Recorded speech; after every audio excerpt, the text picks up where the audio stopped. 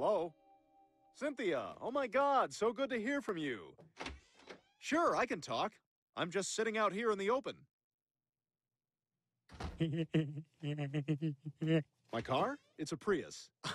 I wouldn't say I'm specifically a hero for driving one. The heroes are the ones who come back from Iraq and drive a Prius.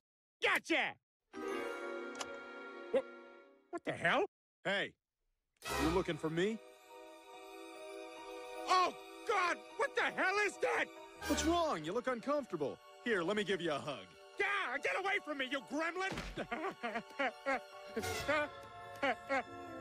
ah, no! Why don't you rub my belly, pal? Ah, ah, ah, ah. Your skin is so loose and wrinkly.